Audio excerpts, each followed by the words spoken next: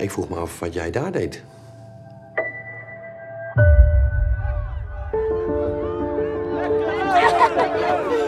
Waar ga je? Naar huis. Lieve schat, nog een paar maanden en dan ben je helemaal van ons af.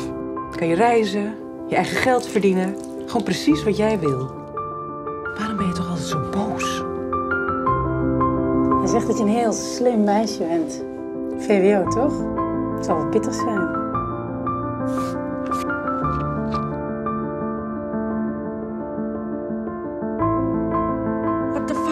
Doen?